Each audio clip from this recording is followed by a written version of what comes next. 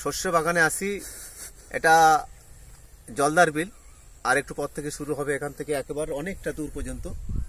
এই বিলটা বয়ে যাচ্ছে। এই বিলটা শেষ, তারপরে আর একটু পর থেকে শুরু হবে বল্লির বিল, যেটা আমাদের বাংলার সব থেকে বড় বিল বলা হয় এটাকে, এই বল্লির বিলকে। জলদার বিল, তার পাশাপাশি বল্লির বিল, তার একেবারে শুরুতে আমরা আছি, এখানে উৎস এটা বলতে পারি আমরা। আপাতত শস্য হয়ে আছে। কিছুদিন আগে প্রাকৃতিক দুর্যোগের পরেও এই শস্য খ্যাত এখনও এরা মাথাচাড়া দিয়ে উঠেছে। সেইভাবে ক্ষতিগ্রস্ত হয়নি।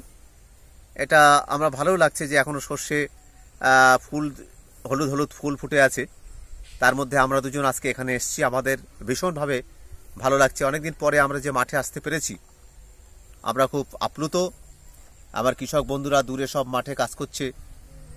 তো তার মধ্যেও সত্যি এই প্রাকৃতিক পরিবেশ, এই মাটির গন্ধ আমাদের ভীষণ, ভীষণভাবে আপ্লুত করছে।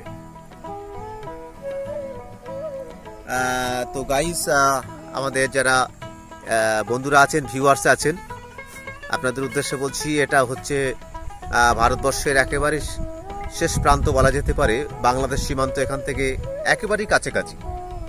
আমরা প্রায় জিরো ডিগ্রি থেকে কয়েক কিলোমিটার দূরেই আছি। এই পল্লীর বিল এবং জলদার বিলের সন্ধিক্ষণে আমরা দাঁড়িয়ে আছি। এখন আমরা জলদার বিলের একেবারে উৎসের কাছে দাঁড়িয়ে আছি বলা যেতে পারে। আর কি। সুন্দর দেখুন সেজে উঠেছে প্রকৃতির এই যে শস্য শ্যামলা, আমাদের যে বাংলার যে মুখ বাংলার যে রূপ আমরা দেখছি। আশা করি আপনাদেরকে আনন্দ দিচ্ছে আমাদের মাধ্যমে।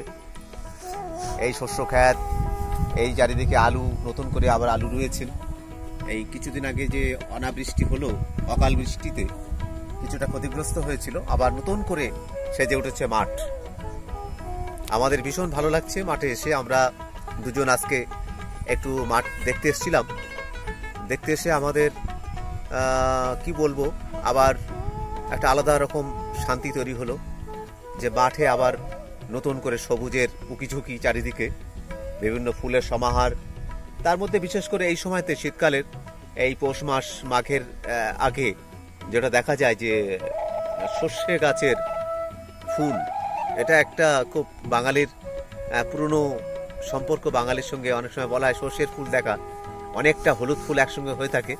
একটা অদ্ভুত চোখের আহ, কারসাজিয়েতে তৈরি হয় এবং চোখ ধাঁধানো একটা ব্যাপার।